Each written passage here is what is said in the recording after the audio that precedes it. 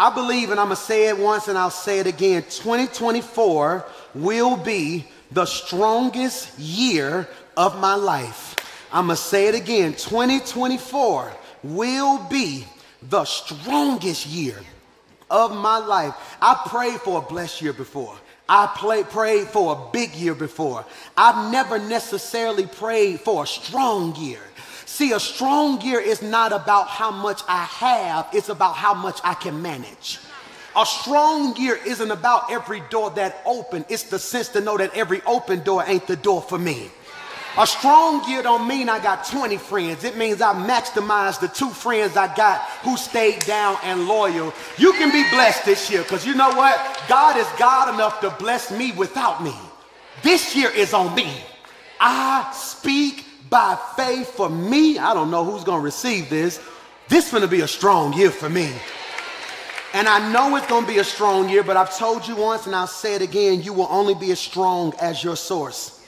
You will only be as strong as your source. I don't know about you, but we have an issue brewing in my house right now that has the potential of destroying my family. It is tantamount to our development. And right now, if I don't get this under control, I'm not sure I may be your pastor next week. We may have to go our separate ways because in our house right now, we are fighting over chargers. Yeah, that's real. I don't know who I'm preaching to in here.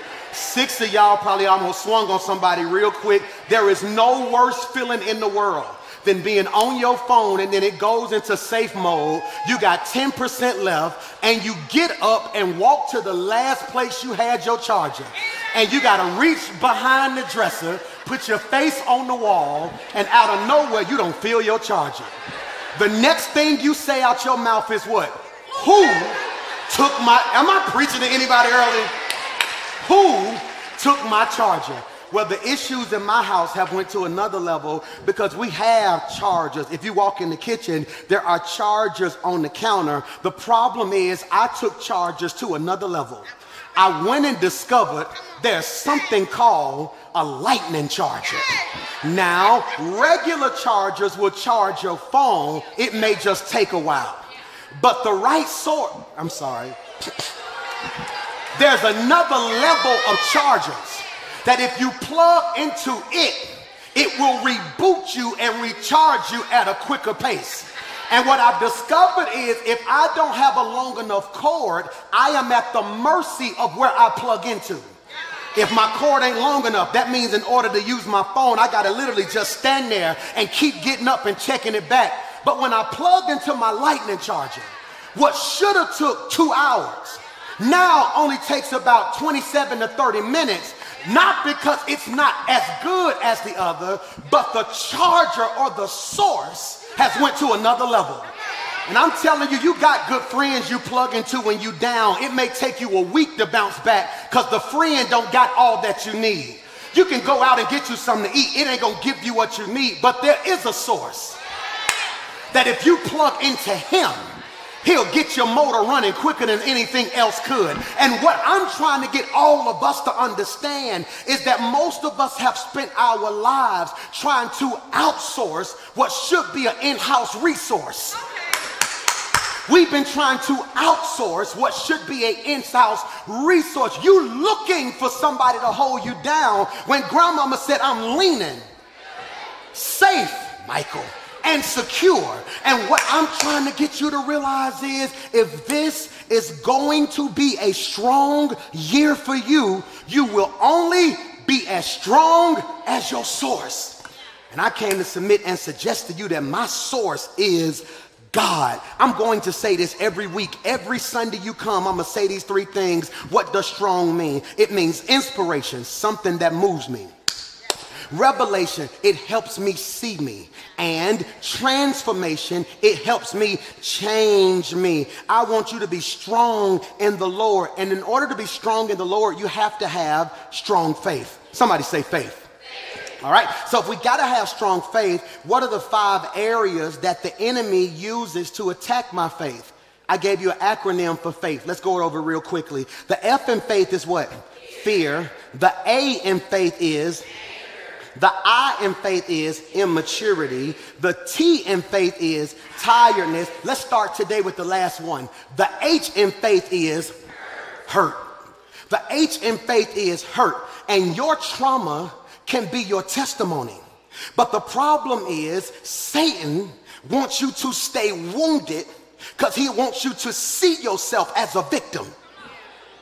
Michael, the devil wants you to remain wounded so you can see yourself as a victim. And may I submit and suggest to you that the reason the devil wants you wounded, because if you are wounded, you will remain offended. And any person who's wounded will remain offended. And if you stay offended, you will never be open. And if you don't become open, you will never testify. If you never testify, the folk around you don't ever come out. Jesus. That's why the text says we are freed, Michael, by the blood of the Lamb and by the word of my testimony. I'm gonna say this, and maybe the online church gonna feel me. Y'all may not feel me in the room, but the devil is playing. you don't ever get bold. The devil is praying you don't ever open your mouth. Because here's the crazy part. Your neighbor sitting next to you and they sized you up when they walked in. They sat next to you, looked at your head, looked down at your feet, and said, okay, they got it all together. They don't have a clue. I don't look like. Am I preaching to anybody? What I've been through. See, it's three of y'all right now that one of your biggest irritations is that people treat you like you ain't been through nothing because you don't walk around looking like what you survived. But I came to submit and suggest this is old school church right here. Grandmama said, I am hmm, a living testimony. I should have been dead and gone, but the Lord let me live on. And the devil wants to keep you wounded. Because if he keeps you wounded, you will always play victim. But there's a shift happening in your life. I'm going to say this and I'm going to speak to this side. For me and for you and for somebody else, there is a shift happening in your life. What is it, Pastor Mike? God is shifting some of us from their picking on me to he picked me. That's five of y'all caught that. Two of y'all over here caught it. Seven of y'all up top called it. Five people in the comments. No, because some of y'all have spent too much of your life talking about who's picking on you. And you don't realize maybe they're picking on you because they can't stand the fact that God picked you. And six of y'all ought to get excited. Why, PMJ? Am I the only person who's ever told God, why is it always me? Why does it feel like my cousin them don't catch hell, mama them don't catch hell, friend them don't catch hell? I came to this job and I said when I got this job, I'm gonna go in here, I'm gonna get along with everybody. And the moment I showed up, People look at me up and down. I don't bother nobody. Don't mess with nobody. Here it is. If your assignment and your anointing ain't regular, your attack won't be either. Oh, you didn't hear what I just said. If your anointing ain't regular, your attack won't be regular either. If you want a regular anointing, you can go through some regular stuff. But if you know your anointing and your assignment is on another level, that means I can't run from Goliath. I gotta take Goliath. I dare you to just reach over that neighbor because I think you sat next to an undercover hater and just reach a real neighbor and tell him ain't nothing regular about me. That's the wrong somebody. Just bounce back and high five somebody and tell them ain't nothing regular about me. I have to be careful what I joke about. My anointing is so on another level. If I joke too much, God will bless me. If I, that's why if I get mad, I gotta cover my mouth. Because if I mess around and say something, touch not my anointing and do my prophet no harm, you ought to shout, it's an extraordinary. Critical. That's critical. And I need you to catch this that for some of you, he's shifting you from complaining to accepting. Why me? Why not you? Why me? Why not you? That's critical. Why me? Why not you? Because you got to catch this. And many of y'all, I got to free you. Because you're about to complain yourself out of favor. Y'all don't like me today, do you? You finna complain yourself out of favor. Here it is. I'm so tired of everybody begging me. Every time I turn around, Y'all asking me to do something. What you telling God is, did he make a mistake? People only beg for two reasons. Either you got it, or you look. You look like you got it. Now, I don't know who got it. God bless all seven of y'all. But for six of y'all who be walking around and your family really think you got everything that you say, I'm not faking it till I make it. I'm faithing it till I. I dare seven of y'all to just bust a 360 and shout, I look like it, don't it? I look like I can help you pay your bills. I look like I can pray you out of some stuff. I look like I got it all together. But do me a favor, please be patient with me. God ain't through with me. Yeah, yeah, yeah, yeah, yeah, yeah, yeah, yep, yep, yep, yep, yep. Your swag just went to another level. You better shut up when people ask you stuff. Well, let me do so and so, so and so, so and so, so and so. What makes you think I got to shut up? Can you do so and so? Let me check all my accounts. You ain't got but two of them. But you better start talking like you finna be living it. Every now and then you better wake up and say, I don't know which car I'm gonna take today. They don't know you talking about Uber, but forget that. God's getting ready to do what eyes have not seen and ears have not heard. Somebody shout strong. Hear me? And if this is going to be a strong year, one word that describes being strong in the Lord is faith. That's rich. Faith. So, what am I trying to do, PMJ? I'm just trying to spark your faith. Inspiration, revelation, transformation. I'm trying to inspire you to go deeper in your faith. I am so ready to bring apologists. I am an apologist. I am a defender of the faith. I am a defender of the faith. That's what scholars call an apologist. I'm so ready to have nights where we do Bible studies, not me at Week Church. I'm ready to have nights where we sit down in obscure passages and we talk about eschatology, which is the study of the end times. If we're living in the last days, we should know what's going on, right? I'm ready to talk about pneumatology. I'm ready to talk about Christology, the study of Christ. I'm ready to talk about uh, the Pan African slave trade, vis a vis what took place in first century Palestine. Why is it that religion seems to slant sometimes toward the least, the lonely, the left out, and the lost? I'm ready to have those conversations. I'm ready to sit down and tell you why God is God and why Jesus is Jesus and why He's the only way. What's only one problem? How can I take you deeper when you won't come closer? And what I'm telling you is it requires faith. Somebody say faith. faith. And strong faith will birth strong families. I don't know what was on your bloodline before you, but I speak it's coming off of you because of you. I speak strong faith. I speak strong faith.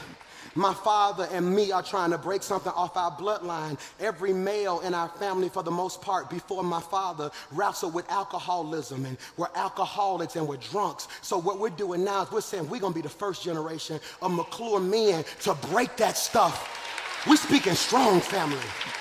Y'all don't hear me in here. I come against divorce on your family. I come against poverty on your family. Somebody in your family got to do it, and it might as well be you. Am I preaching to anybody in here? I dare you to just type or shout, my family will be strong. Your children gonna get along. If your family blended, you're gonna be blended and blessed. I know church told you you messed up because you had a child before wedlock and now she got a child. But last time I checked, Joseph won Jesus' daddy. Therefore, Jesus grew up in a blended house. Y'all don't want to hear me. I speak strong families that we will have two parent households if we can have it. That many of you grew up with a whole lot of family trauma with parents saying stuff to you that to this day rings volumes in your ear, just like your daddy. You ain't gonna be nothing. You had a mama who was broken and you didn't realize she was broken as a child. So every time she saw you, she saw the man that didn't want her. So therefore she projected that pain on you. So here it is now, you 30, still dealing with that stuff. I break that off for you today. I felt God on that. I speak strong families.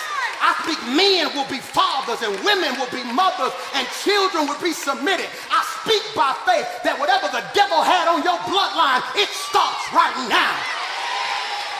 I dare you to just shout your last name right there and declare it's coming off my family. I, anybody can shout for a house and anybody can shout for a car. But when the last time you said this mess that got my cousins and my aunties not liking each other and this side fighting this side, the devil is alive. we gonna be blessed. we gonna prosper. we gonna be entrepreneurs. we gonna be united. You ought to shout strong. But it takes strong faith. It takes strong faith. I say strong friendships. Yeah. I want you to have strong friendships. You need people walking with you through life. Stop trying to make it seem like you cool walking by yourself. That's a very lonely, dark place. Most people in this world, myself included, who have adopted this idea that I got me, are sometimes some of the most miserable people because we wrestle in our minds like, why won't nobody be to me? Not what I'm being to you, but what we tend to be for a whole lot of people. I speak good friends on your life. Because there are two types of friends. You need you, you need you some entertaining friends. You need a friend you can call and say, let's go grab something to eat and just laugh. They've been crazy. Let's just go to Applebee's and sit there and just have us a good time because it's been crazy. I got stress on me. I just need to take my mind off some stuff. But the problem is don't ever confuse your entertaining friends with your empowering friends. No, I call you when I want to go eat. I call them when I need to get something broke up off me. But I'm speaking God finna bless you in such a way, he gonna send you at least one entertaining, empowering friend. Who could be in the car like, where we going? Hold on. Oh, now let's go eat twin. Let's go eat twin. Am I preaching to anybody? Strong families. Strong, strong families. Strong friendships. I'm gonna preach to this side. They sleep over here. Can y'all handle this? Strong finances. They call it. See, they sleep. I'm gonna lead them. I'm not playing with them today. Forget them.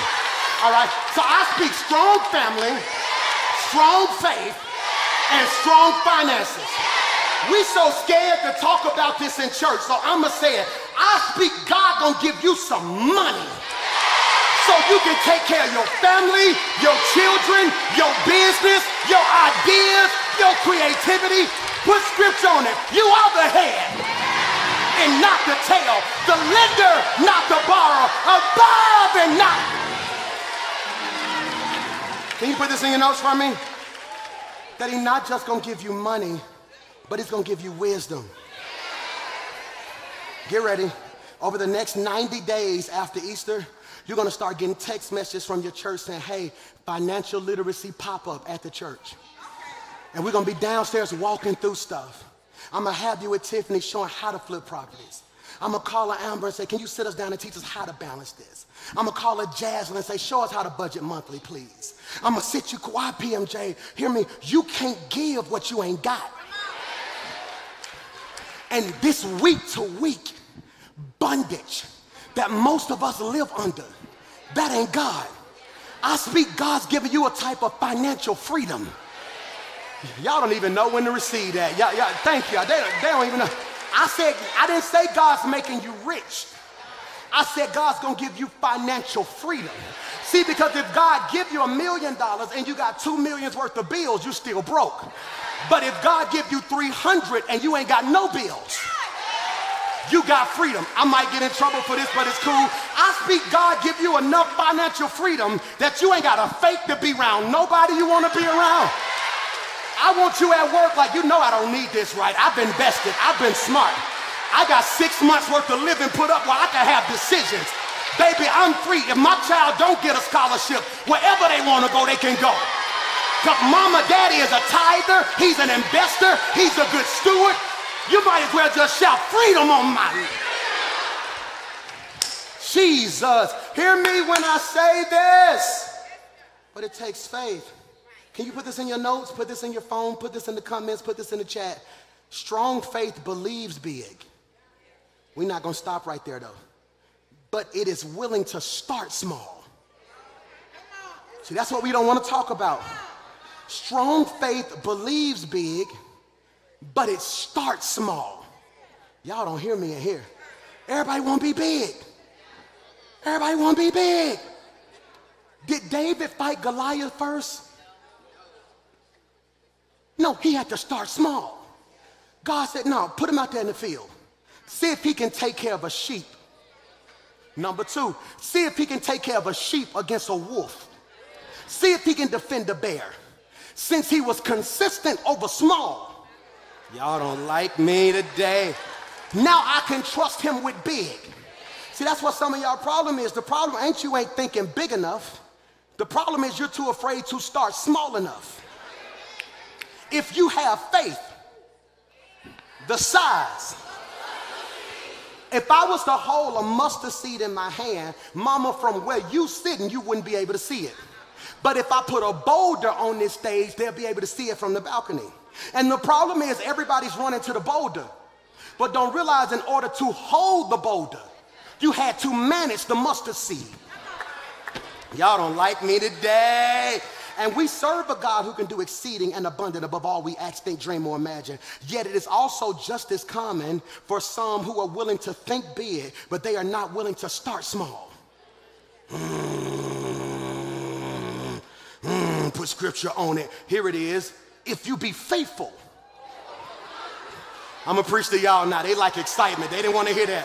Mama, they didn't want to hear that, all right? If you be faithful over a few things, Michael, I will make you rulers. Okay? Put this in your phone, put this in your notes if you don't mind. Context. context is vital. A text without context becomes a pretext, thus conning you out of the truth. Meaning, don't ever listen to something and come to a conclusion sometimes without what? Context. That's, that, that, that is so critical. If I look at you right now, if I look at you right now and shout, I can't stand you and then you go home and say, Guess what? Pastor Mike said, I can't stand you. You're going to go home thinking we were mad. But if you get the context that says, I can't stand you, you got my stomach hurt, you so fun, do you see? how the context changed. So when we read this scripture, most of us takes the text isolated from the context. He says, if you be faithful over a few things, I'll make you what? Ruler over many, many. Put this in your notes. This scripture, this pregnant Matthean text, is both eschatological and practical. I don't know how to spell eschatological. You got to spell it the best way you can. Spell it out. Let, us sound it out. S, S, S, S. That's, I know it's E S C, C, C. Hey Siri.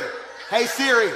Es, eschatological. eschatological. It, it, is, it comes from the word eschatology. Eschatology is the study of the end times. So this scripture is eschatological, end times, but it is also practical right now. He's telling him, watch this, he gives three men some talents. You know this parable in the Bible. He gave one man one, another man another, another man another. One man buried his. You remember that story? Another one got a little bit, but the brother who went crazy, he went dumb with it. He looks at him and says, Oh my God, well done, thy good and faithful servant.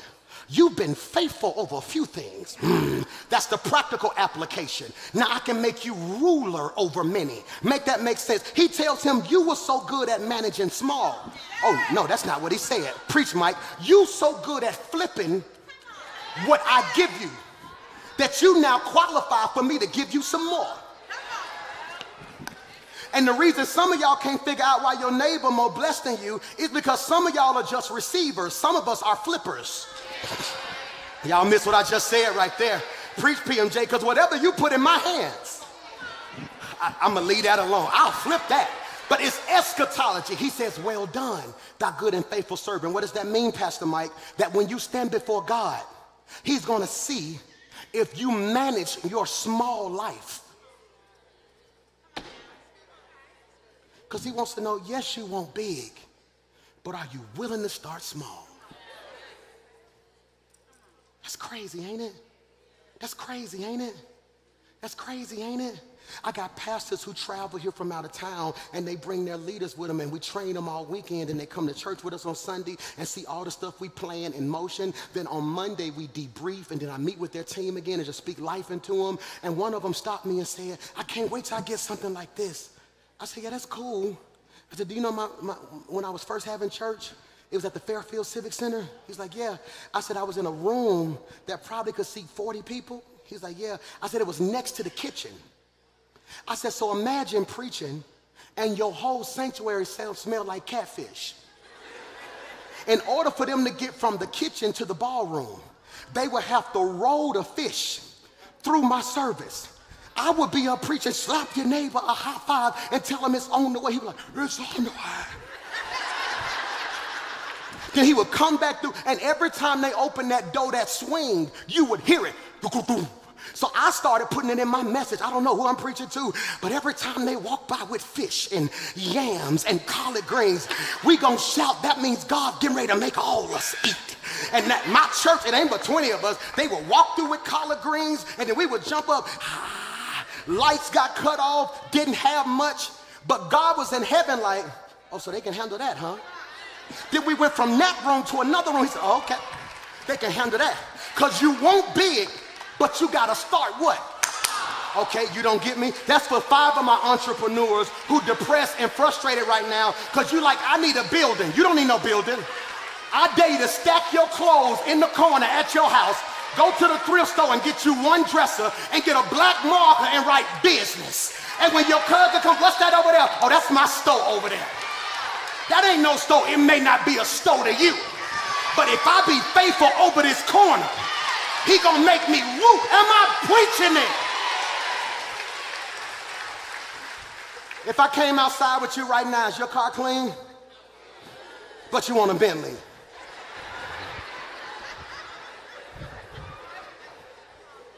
If you can be faithful, uh-oh, it's certain scriptures you don't play with. King James, my mama read this scripture, so that meant I had to read the scripture exactly like my grandmama said. God, good and faithful servant. This morning, I made a mistake and pressed the wrong button in my serv- in my computer, and it gave me the NLT version. So, grandmama, I love you, but I gotta read NLT. It says, "Well done, my good and faithful servant. You have been faithful, Michael, in handling this small amount, Michael. So now I will give you." Y'all don't know when to have church. Many more, Michael, responsibilities. Y'all missed it. But here go the, the message finna mess you up. His master commended him. Good work. You did your job well. From now on, you gonna be my partner. Y'all missed that. See, because stewardship will get you a promotion. Y'all miss what I just said right there. So what happens, Pastor Mike? I got to get you out of here. Y'all tired of me. Strong faith. Can you put this in your phone? Can you put this in your notes? Somebody put it in the comments. Strong faith is the ability to take what others overlook and make it overflow. I feel God on that. Y'all got to pray for me. I'm trying to be dignified today, but I feel a run in my spirit. Strong faith is when you have the ability to take what others overlook and make it overflow. Please write this in your phone, in your notes. Faith is not maintaining, it's multiplying. Ooh, I feel God in this. Oh my God, faith is not just about maintaining, it's about multiplying. And let's talk about that. So maintaining asks a question and multiplying asks a question. Let's do some deep, let's do some research. Maintaining asks, what can I do with my blessing? Multiplying mindset says, what can my blessing do for me? Did you see the difference? See, a maintaining mindset says, I got some money, let me go get me something. A multiplying mindset says, where can I invest this? So it will work for me. Yeah. See, a maintaining mindset will say, I got a promotion, I'm gonna take that extra money and I'm gonna run with it. A multiplying mindset says, no, I'm gonna give me a universal life policy, put that 75 in it over the next 20 years, and in 20 years it's gonna become so and so. That way I got cash value. When my baby get ready to go to college, I can hand them some money. It's gonna accrue. In. See, it's multi. Pastor Mike, nobody told me. I'm telling you now. It's because we can't play ignorant forever. I'm preaching if you'll receive it today. And what I'm telling you, 10 of y'all gonna receive this, and your life gonna go to another level. God did not put you on this earth to get by. Neither do I agree with what grandmama taught us that you just got to maintain so when you die, you can get your pie in the sky. No, I want something sound on the ground while I'm still around. That way, even when I get my crown, I'll be able to say my life was one that multiplied. I'm gonna speak this over your life. You ain't gotta receive it. You gonna multiply something. That your children's children's children will be blessed because of the decisions. Y'all don't like me today. Put scripture on it, Pastor Mike. Go to Genesis 1:28. God blessed them, and God said to them, "Be fruitful. Be fruitful." And what? The first command that God gives man is a demand to multiply. When he tells them to be fruitful and multiply, he is not suggesting it, he's demanding it. You're reading that scripture, I don't see a question mark. It says, God blessed them, and God said to them, Be fruitful, multiply, fill the earth, subdue it, rule over the fish of the sea over the birds of the sky, over every living thing that moves on the earth. That don't make sense to you because it's too deep. Look at the message version. God blessed them, Michael, and said, prosper, reproduce, fill the earth. This my word right here. Take charge. Your neighbor don't want to shout. It's two types of people sitting on your row. One of y'all want to jump up and shout, but you don't want the person next to you thinking you think you all that. So you dummying yourself down. If they want to follow, just let them follow. Seven us know God put me and my family to take charge. God put me in the earth to take charge. I don't have time to play nice. You ought to bump somebody and tell them we didn't come to take sides. We came to take over, multiply, reproduce, Take charge. No, your family had all this time to make sure your family's well-being would be taken care of. How long you gonna play the back seat and not say, hey y'all, we know Christmas coming up. Instead of us fighting every year, let's start putting something together right now, planning it so it don't hurt. Take charge. You got six and seven nieces and nephews right now that you know if you don't step in, stuff not gonna go the right way. So right now, start planning. Okay, let me figure out how we're gonna do this. I, I met with some people. Here's how we're gonna send them to school. We're gonna do X, Y, Z, X, Y. Take charge. Yep. I start putting money back and saving and saving and saving, and I'm working on my kids' college. My goal is for my boys' college to be almost taken care of before they even get to the 12th grade. But simultaneously, while I'm working on them, I'm working on your child. No, I'm a pastor, pastor. I'm a pastor, pastor. So now I partner with the Birmingham Promise Program. So every year, watch this, for the rest of my life, I'm sending five kids to college on our church. So as of yesterday, we paid for the whole freshman semester for five students. Let me free you. All you got to do is graduate from a Birmingham City School and stay within state. And if you do it, all I got to do is just shoot a text and say, this was one of mine, and it's paid. God ain't giving you resources so you can stunt and show you got on Gucci, Dolce, and Gabbana. God said, I'm blessing folk who will say, if you do it for me,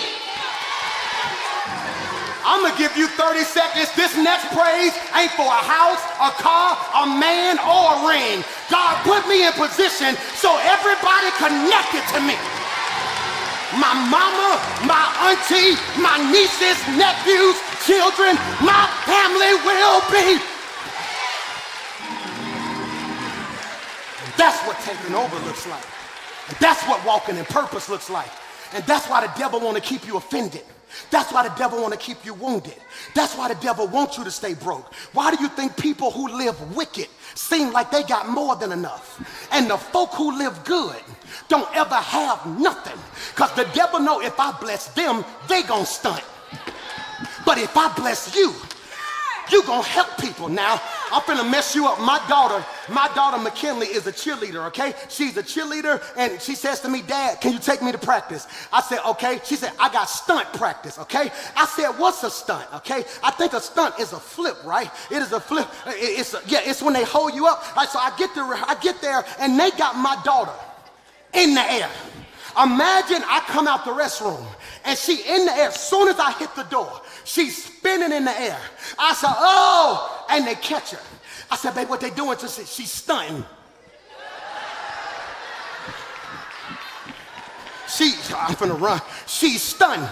You thought God called you to stunt. You just picked the wrong definition. Stunned ain't what I got on. See, stunned ain't showing you, you know, I pulled up in the S550 right Girl, you know this new, these red bottoms, you know it. No, no, that's not the stun God called you to. God called you to be a base. Y'all miss what I just said. God, like, send me somebody who will stunt. That you'll be like, how much money you got? Come here. What you need? I dare you to bump your neighbor and shout, I'm gonna help you stunt this year. I'm gonna help you get another degree. I'm gonna help your business go to another level. I dare you to slap five people high five and shout, oh magnify the Lord with me.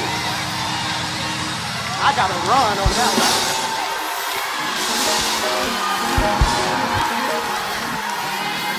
Let me, let me multiply.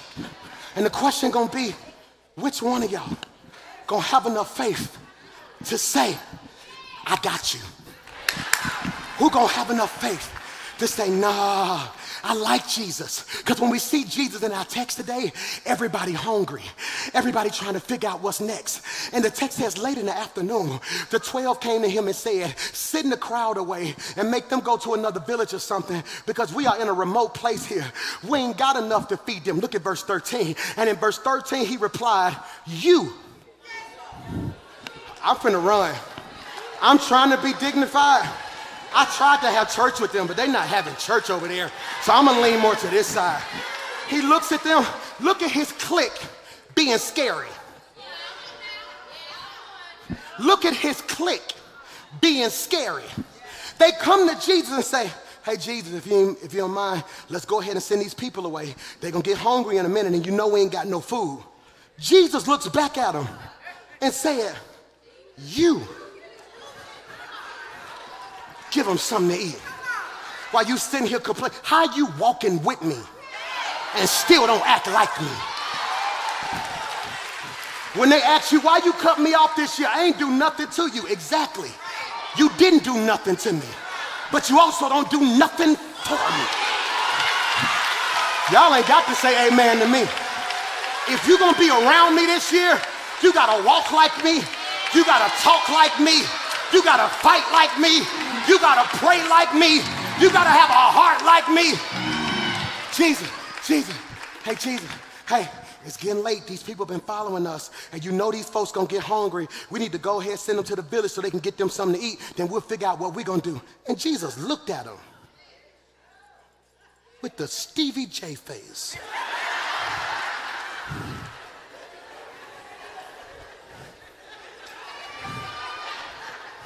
Has somebody ever said something to you that offended you so much that you.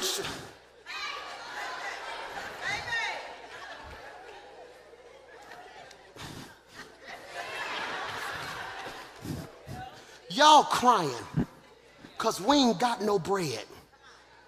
When you've been spending the last two years with the bread of life. Your actions don't look like you've been eating right. He says, You get them something to eat. They answered, We only, Michael, have, Michael, five loaves of bread, mm, two fish, I, am finna run. I, am trying to be dignified and I'm trying to keep myself together, but I don't think y'all catch what he says right there. We, we only have, Jesus tell them, I tell you what, go through the crowd and see how much food we got. They walking through the crowd, right? Walking through the crowd. You got something to eat? No. You got something to eat? No. Hey, you got something to eat? No. You got something, hey, hey what y'all got over there? Nothing. What y'all got over there? Then in my head, they see a little boy with a sack. And they say, hey, what you got? He said, I got my lunch that my mama made. That I don't know why we don't preach about this mama.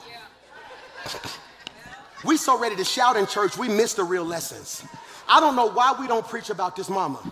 It's Jesus, 12 disciples, 5,000 men, not including women and children, which means it's probably 20,000 people walking and only one person had enough sense to prepare. And I don't even know if she there. Because the text don't say the mama got the lunch. The text says the little boy got the lunch. So my question is, did mama open it, put it in front of the boy, and the disciple saw it? Or did mama give it to the boy before he left the house? Because she had enough discernment to prepare in one season for what was getting ready to happen in a. Look at what he says. Look at what he says. He says, You feed them. That's critical. You feed them. Here's what's crazy the disciples are hungry. Y'all don't like me. He asked Michael, hungry people, to feed other hungry people.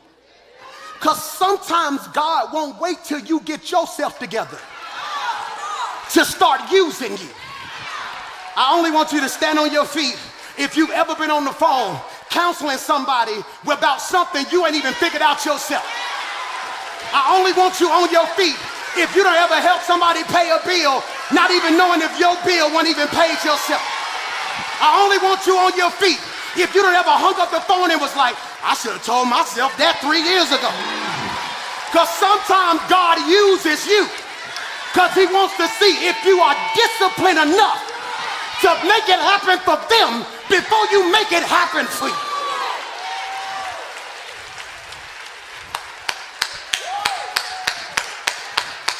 I just messed six of y'all up.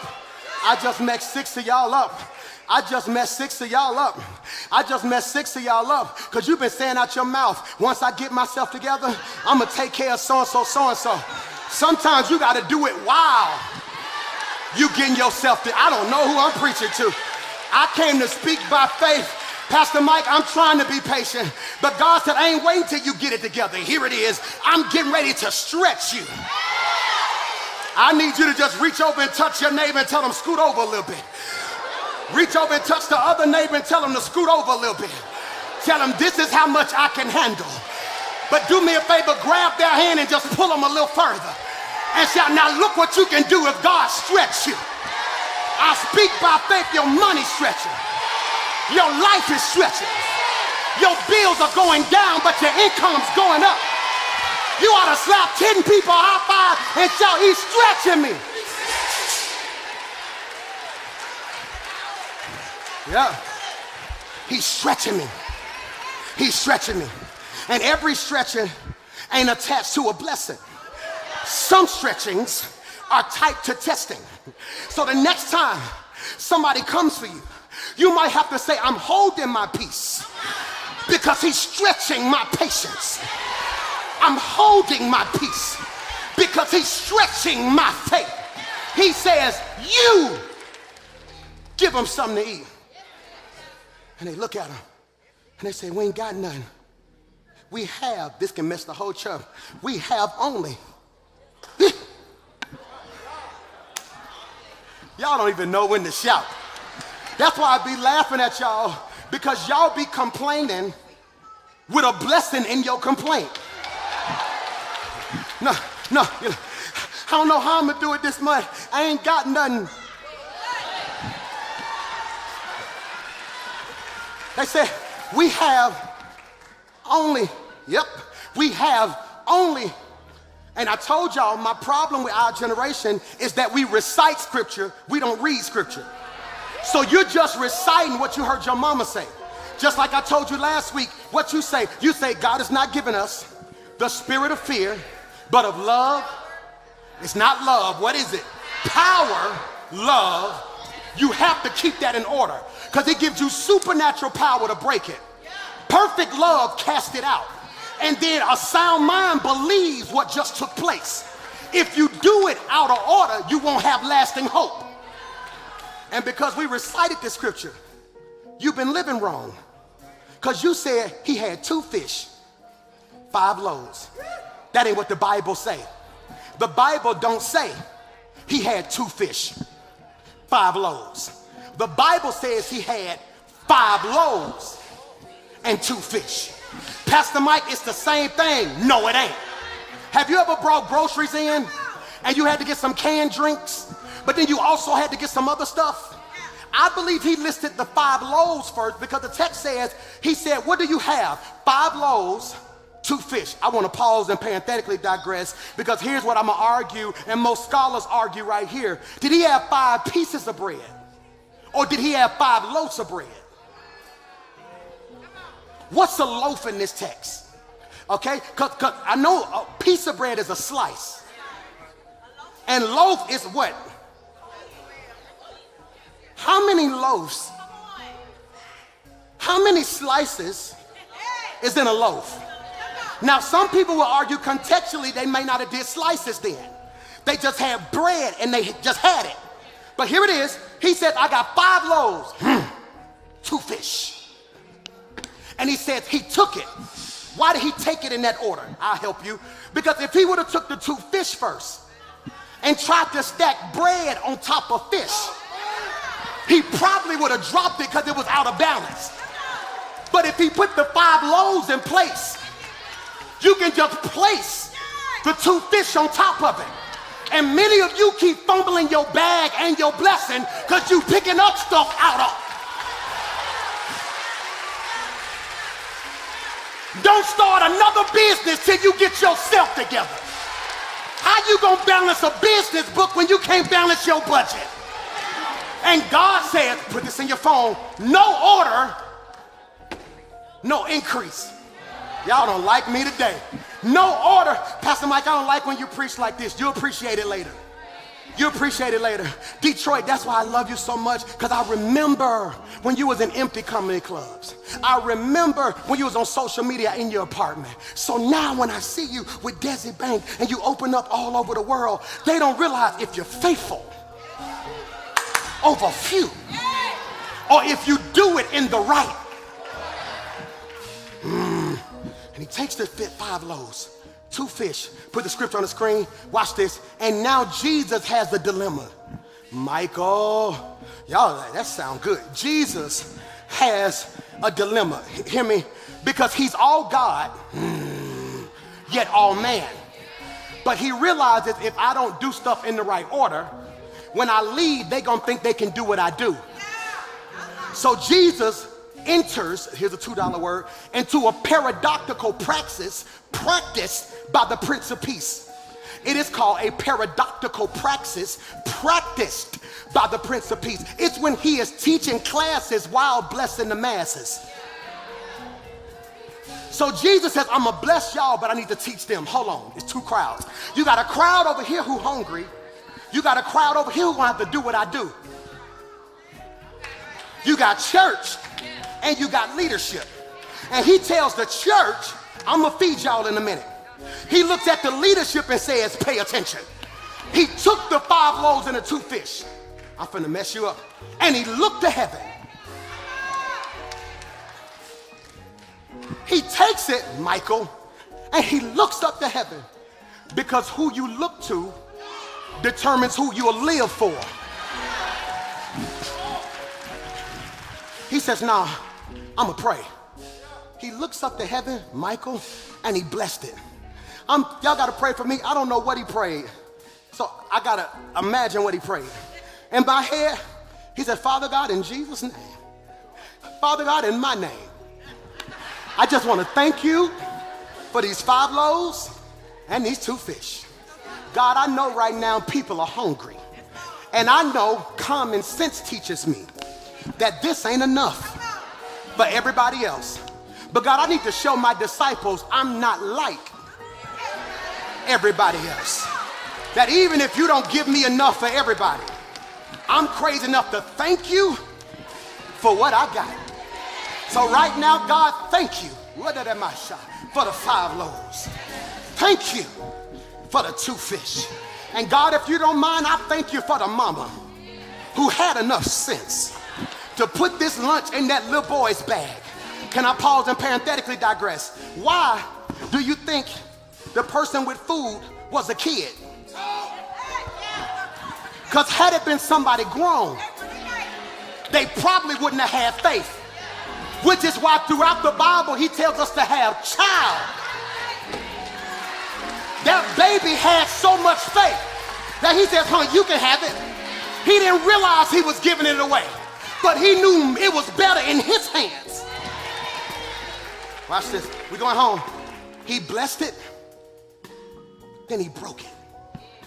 I said he blessed it, then he broke it. I said he blessed it, then he broke it. I said he blessed it, then he blows it. What you got? Two fish, five loaves. If you give it to me, I'll flip it. Two fish, five loaves. If you give it to me, I what you got? Say what? Say if you give it to me, I'll flip it.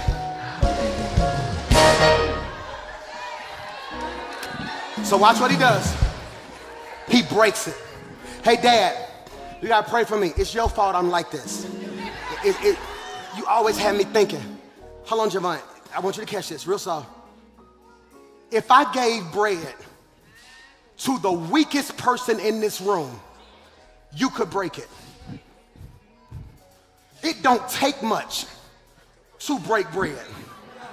Dad, I've never heard a pastor talk about this. I'm not sure how hard it is to break fish.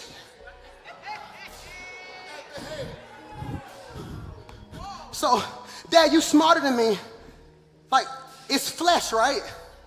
So do they snap it like a cracker? But it got a bone in it. Breads don't have bone. It got scales. He don't scale it. He don't de-skin it. I don't know what de-skinning is. Y'all pray for me. I'm from Ensley. I don't fish. Y'all pray for me. He don't fillet it. He takes raw fish, breaks it. Bread is easy. I believe he's trying to tell you that if you submit yourself to me, I can break the stuff off of you that people thought were unbreakable. Every generational curse, every sickness that's been put on you, every ounce of low self esteem, the guilt, the shame. I'm not just the God that breaks bread, I'm the God that breaks fish. Anything with a bone has structure. I break systems, I break structures, I break curses, I break establishments but I don't break them just because you want them broke. I break them because I'm getting ready to pass them out so everybody can benefit from them. So before he gives it out, he gives it to God. Pastor Mike, why would Jesus pray to God, bless it, and then pass it out? Because he was trying to make us understand we have to have a God first mindset. Hey, if you don't hear nothing else I said today, I need you to remember that. Remember that. A God first mindset. Hear me. Even when you leave here today, I don't do nothing else in life without having a God first mindset. God first mindset. God first. Pastor Mike, I'm going to take a job in another city. Hey, have you prayed about that? God first. I'm about to do something. God first. I just got paid. Tithe. God first. God just gave me a promotion. Don't post it. Don't call nobody. When you get in the car, Father God, I thank you for this. God first. Watch this. We going home. Got ready to go home? Here it is. Watch this. He breaks it. He blesses it. And he gave it to the disciples again and again. Listen to your pastor. Listen to your pastor. This is crazy, Gabby. I want you to listen to your pastor. Who ate the fish? the people. Who did he actually give the fish to? Not one time does Jesus put a piece of bread or fish in a person's hand. Because that's a principle. He's not going to bless you all the time directly. Sometimes he blesses you through a person. I'm giving you good measure. Press down shaking together, running over shell, somebody's going to do it for you. It's also a test to the disciples because I know you hungry. But leaders don't eat till everybody has eaten. I be messing my church up, right? I be messing my church up. We be doing functions, and I'm the pastor, so they fix all this pretty stuff. Like, Pastor, you go ahead and eat, and all my food be cold. They still don't get it. I am not eating till I done walked around that room and made sure, hey, y'all, hey, you got enough? Hey, you got enough? Hey, you got enough? And that's what's wrong with our culture. That's what's wrong with the African American community at times. That's what's wrong with so much stuff. We so busy trying to eat. Who gonna make sure everybody else get fed? All my teenagers, listen to me. That's why I need you in school getting your work. You don't like what's happening in your family, make a decision today. In seven years, everybody gonna eat. Can you stand to your feet with me? Watch this. He blesses it. He breaks it.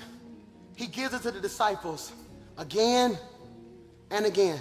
Pastor D, hey church, y'all don't be seeing what I be seeing? I think I'm starting to think I might be a little crazy. Like I be seeing stuff that don't nobody. Okay, okay, I'm gonna do it again. Okay, okay, all right. D, D, D. Okay, okay. You ready? All right. Give me the five loaves. Give me two fish. Give me two fish. God, I thank you. Jesus' name. Amen. Go pass it out. Booyah. Now come back. Pass this out. Come back. Because the scriptures say, again, when I get to heaven, y'all, y'all got to pray for me. When I get to heaven, I'm to be the person in heaven who, like a little child, they be like, hey, hey, find somewhere for him to go. Like, he, he getting on my nerves. I'm to be, I'm to find the room, Jesus and, and Peter, James, and John and me. I'm like, hey, hey, Jesus, you got a second? What, Mike? Okay, I got a question. What, what? Okay, I'm confused because when you was at the wedding, you kept feeding people, giving people the best wine, but it was in a container. So I don't know if it was transforming in the container or in the pouring. Like, so was it, was it bad wine in the container? And then when they poured it, it shifted? I don't know. But this two fish and five loaves messed me up. Because this math ain't mathing. Because if you take two fish, five loaves, and break it, and you hand it to the disciples, did the bread and the fish come out your hands? Like, where does it come from? Like, what? So, so did he have a, a, a? And every time he went into the lunch box, it was a new pair of fish and a new pair of bread. Or since you are the bread of life, was it just appearing? I think Jesus is gonna look at me and say, Mike, you remember what your grandmama told you when you were six? I'm like, my grandmama told me a lot. No, grandma, remember what she said about blessings? I'm like, oh my God. He said, now say it back to me. Anyway, you bless me, Lord. I'll be satisfied. And the last scripture says, we're going home on this. It says, they all ate. They just didn't eat, church.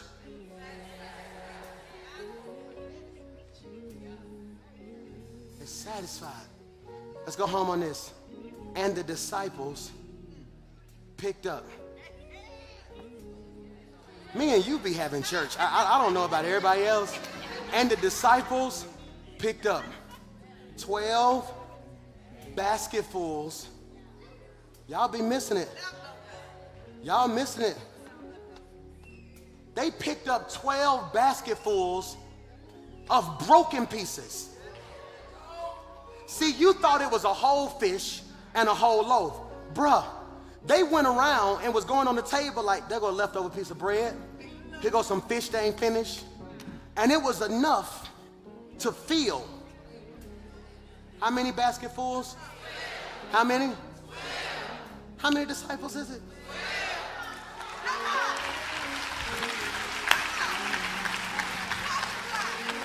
Which means I don't have to be jealous of you. Because I got a basket. You got a basket and you got a basket. We may not have the same stuff in the basket, But long as both our baskets full, you ought to shout, He's blessing everything connected to me. Can you take your neighbor by the hand?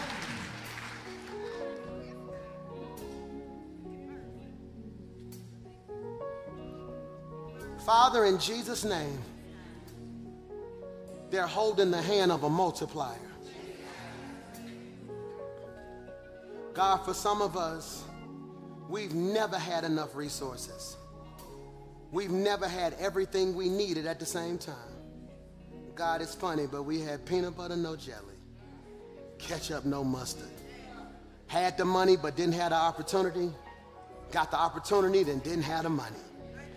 But God, this year, I speak the next 36 to 48 months will be a strategically aligned season of our lives where our favor is about to match our opportunities.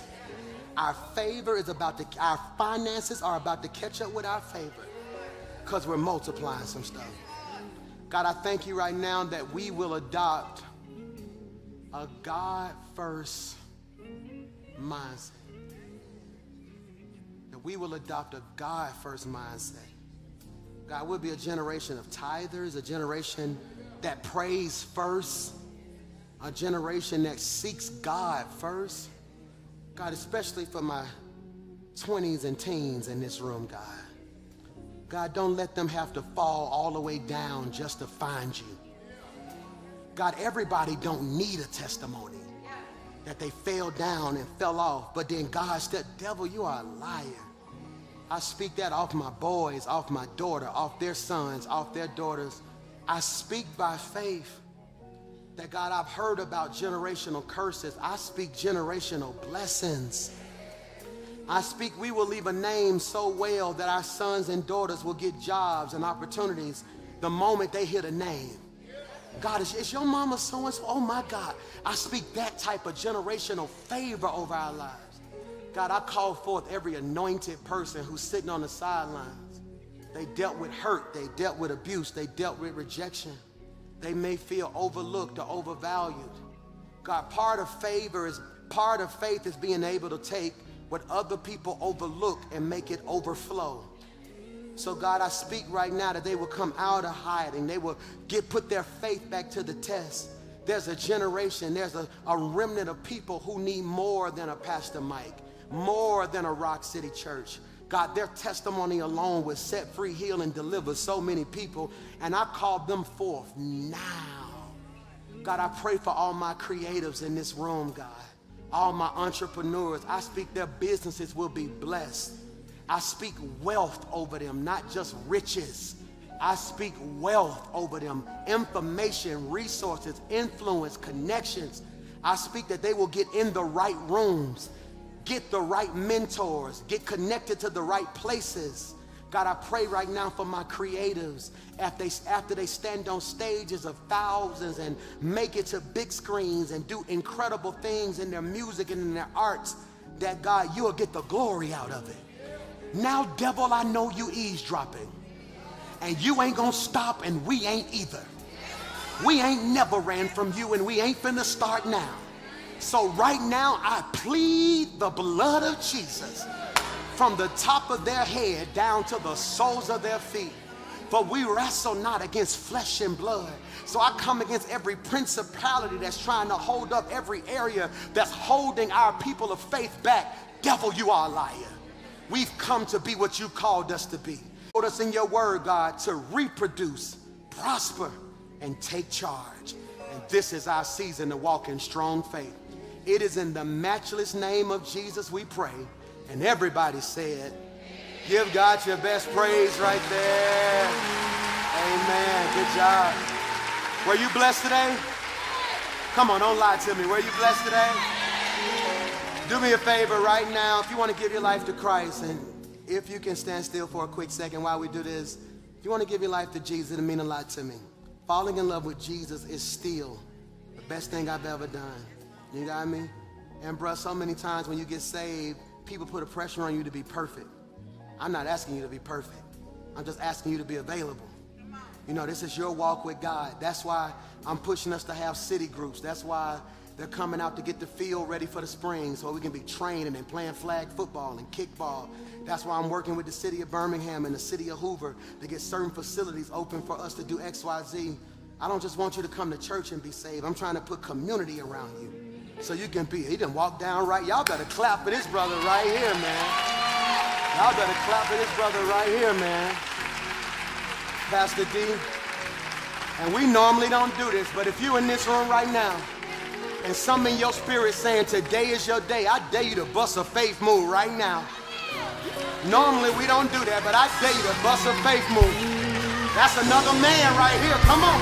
Where my Rockefellers at? I need y'all moving. Come on. Come on. I need y'all moving. Come on. Come on, prayer team. Come on, leaders. Y'all come on.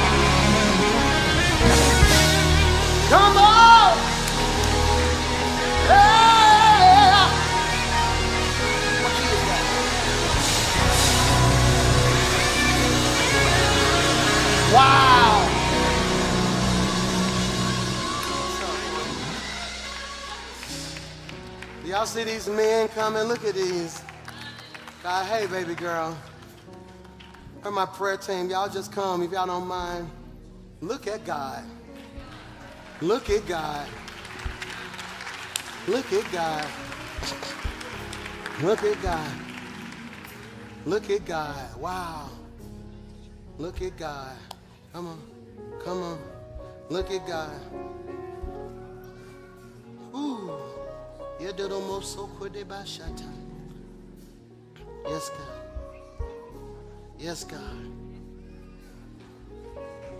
Lift it right now, God. See, you don't know who got so much on them. They just feel like the everything is collapsing. Yes, God. Come on, yeah. Come on, God. Baby girl, down here. If you can just pray right here. Come on, right here, yeah. Come on, just jump in and help us. Come on. Right here. Yeah. Yes, Lord. Yes, Lord. Yes, Lord. Yes, Lord. Yes, Lord. Yes, Lord. Yes, Lord. Yes, Lord. God, I thank you. God, I thank you. Terrell and Stephen, if y'all don't mind, I need y'all help praying over here. Come on, I need y'all moving. Come on, I need y'all moving. Come on. I need y'all moving, praying right there for that brother right there. It's all right. This what church is, ain't it? Come on, I need y'all praying right there. I don't know where Terrell is. Y'all tell him get in church. Y'all come on. Where at TT? Get him. Thank you so much. That's him. Yeah, I see you. Yes, God. Yes, God. Yes, God. Yes, God. There they go. Yep. Yes, Lord. Yes, Lord. Yes, Lord. Yes, Lord. Yes, Lord. Give me C sharp. Yes, God. Yes, God. Can you stretch your hands this way?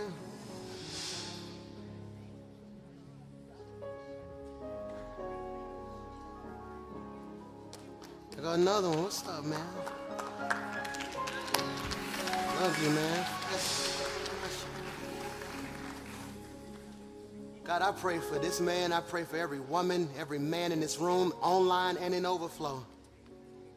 God, we pray for strength right now. God, there's a weight that so many people have been carrying. And it gets heavier when you're carrying it in silence. So right now, God, we ask that you cover, keep, bless, and protect them. I speak wisdom. I speak peace, Bravis. I, I speak peace over their life. I, I speak, God, that you're doing what eyes have not seen and ears have not heard. Woo! Yes, God. Yes, God. Yes, God. It's all right. Come on. It's all right. Come on. It's all right. It's all right.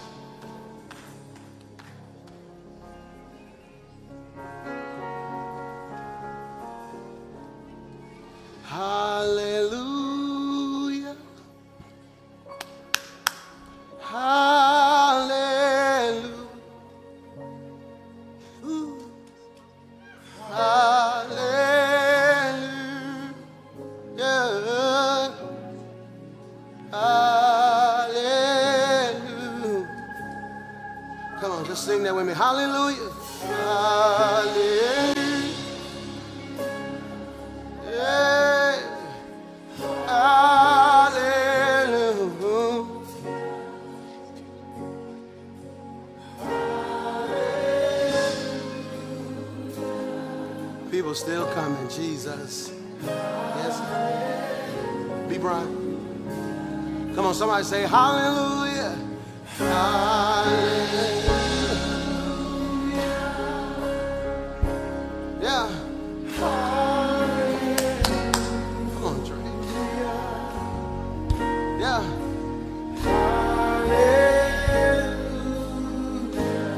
If you don't mind, can you just slip a hand in the air right there? Come on. Come on.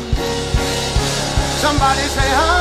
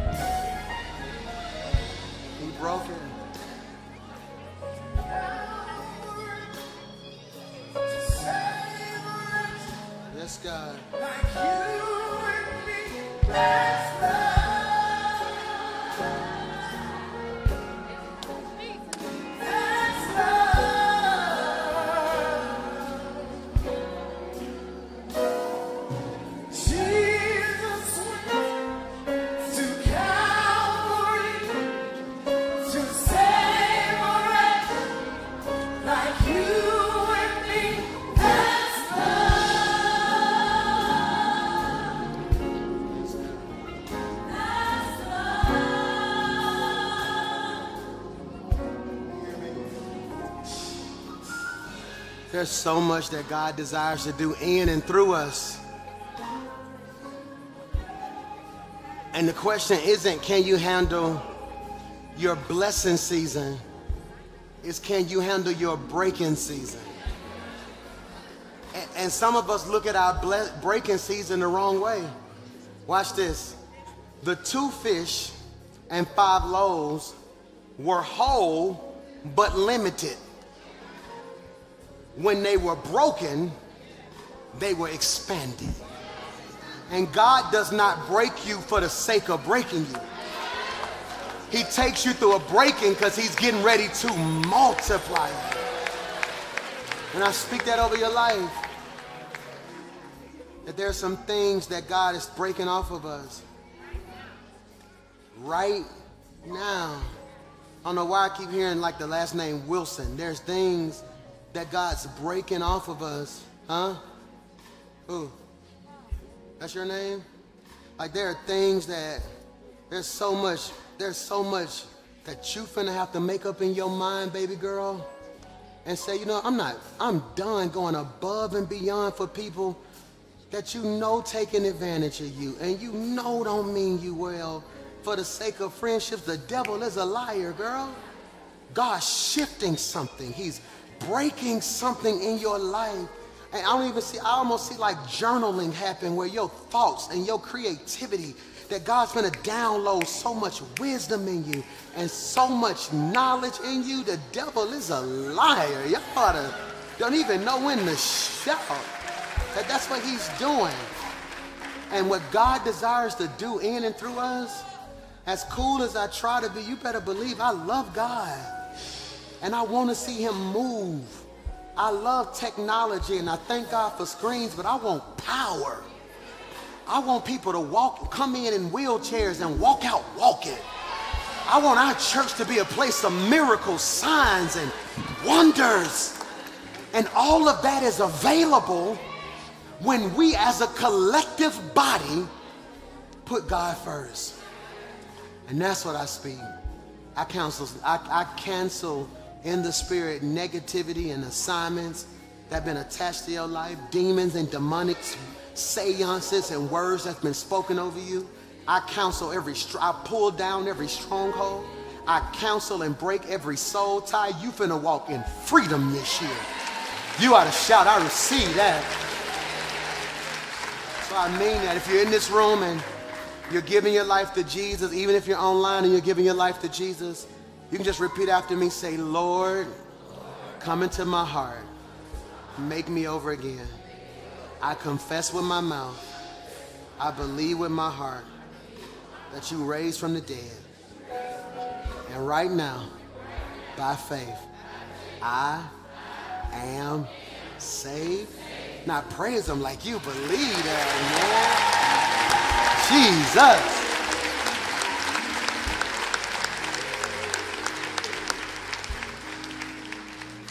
Know about you, but just touch two people and tell them something's getting ready to shake in your life for the good. Something's getting ready to shake in your life for the good. That's the wrong neighbor. Touch three people, tell them something's shaking in your life for the good. Look at somebody behind you and shout, go ahead and prepare your mind right now.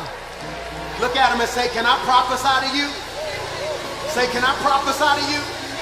Say, neighbor, I believe that it's my seed. We get ready to go home, but can we celebrate God? And I believe you ought to shake somebody real good that it's my time. It's my time. And I can feel it. Breakthroughs in the room. Say. Breakthroughs. Look at your neighbor and tell him I can feel it. I can feel it. Joy's in the room. I need the whole church. We're finna go home. And I can feel it. I can feel it. Say favors in the room.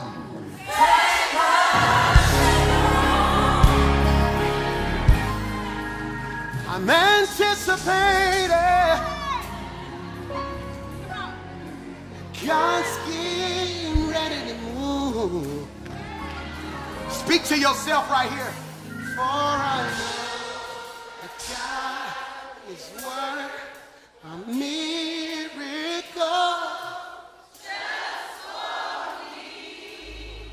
And it's gonna. My future is. My season is. It's gonna be there. And it's gonna be. What is God doing for you and your family? God is not.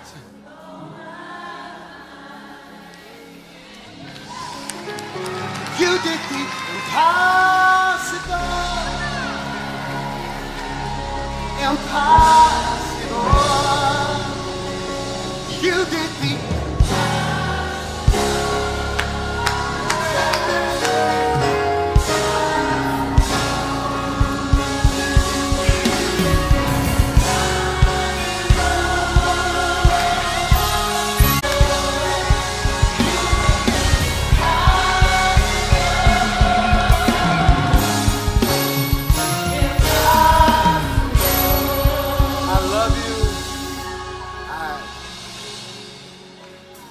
can't take this. Y'all gotta pray for me. But when I see people get excited about God again, bro, I can't take it. I can't take it. And there's an awakening happening, especially in my men in this church. It's a real life awakening happening. So we finna go to another level in God and you better put your seatbelt on. I feel God doing something.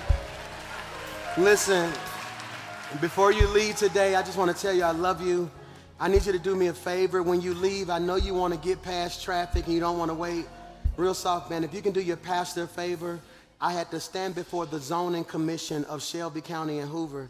I had to stand there for an hour and listen to them tell me they're excited that we're in the community, but it's scaring a lot of people. In a sense, it's a good scare. This place was vacant for years. So now you got to think about it. Thousands of people out of nowhere just zooming down their streets. Or maybe when you come out the parking lot to avoid 119, I mean Valleydale, you bust a left real quick and kind of go through the neighborhood. Do me a favor, don't do that if you don't mind. I rather this is why I'm here during the week, and it's a lot of kids that be on that street and the last thing I want to happen is you rush into beat traffic and God forbid you hit somebody on a bike or or I want to show you how to be a good steward. I want to be a good neighbor to this neighborhood as well. I want them to speak well of us. Yes, it's a great thing that a lot of people are coming to church, but I also want to model to you how to walk in humility and be a good steward, not just over what he places in your hand, but who's watching what's in your hand. So for me, I stood before them and they shared with me some of the things they didn't like and uh, the DJ's too loud. So I went out there today, bring that down just a little bit. Why? We want to be a good steward. Yes, I want to create an atmosphere and experience, but not at the expense of ruining somebody's day. Uh, and that's just not Christ-like. So that's what we've been doing. And I gave them my word. I said, I'm going to stand before my church with integrity. And I'm going to ask everybody, if you don't mind, please don't zone through these neighborhoods. Drive respectfully, drive carefully. Uh, just think about what you would do if somebody zoomed down your street while your man man was just out there playing in the front yard. You'd be frustrated, right? So let's just be respectful if you don't mind. I love you so much. I want to tell y'all thank you. And this is why I want to tell you thank you. I woke up this morning thinking I was going to be at church by myself. It's daylight savings time. I was like, they're going to wake up late and be like, ah, I just watch online. You up in here, ain't you? Look at you. Clap your hands. Even though you thought you was coming to the first service, you still here, ain't you? Look at you.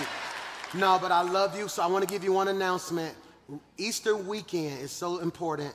I didn't want to scare this neighborhood, so one thing I'm doing is we're going to have our early morning 9 o'clock service. Then we're taking everybody to the Boutwell at 1130. You're really going to love it. They gave me the entire building. Shout out to our mayor, Mayor Woodfin and all that. They done gave me the whole building, right?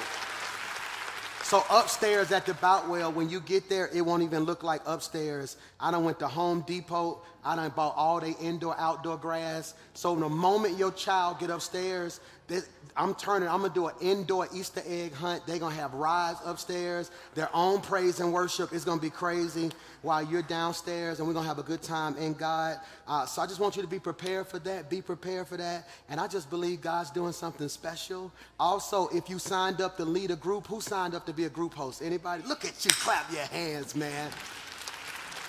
This Tuesday is our first training, and I'm asking you to be here. I'll be here. I'll be sitting right here. I'm going to walk you through it. I believe real life change happens in community, and my goal is not to have a church full of people who look at me, but a church full of people who work with me and helping changing lives, and that'll be so, so, so important. So I love you. Were you blessed today? Again, my parents snuck in church. Can y'all make some noise for my mom and dad right there? Hey, mama. Hey, daddy.